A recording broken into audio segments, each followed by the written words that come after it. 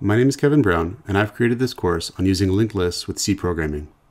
I've been a college educator for the last 20 years, and I'm very passionate about helping students develop strong portfolio projects that help them showcase their skills to potential employers.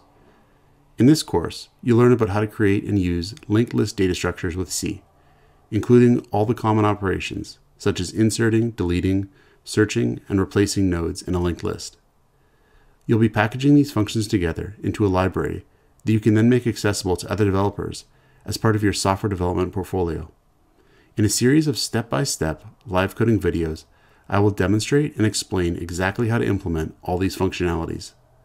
You'll also learn about why linked lists are important, what are some practical things you can do with linked lists, and how to package and document your linked list library. So if this sounds interesting to you, I hope you sign up for the course to learn all about linked lists and how to build your software development portfolio.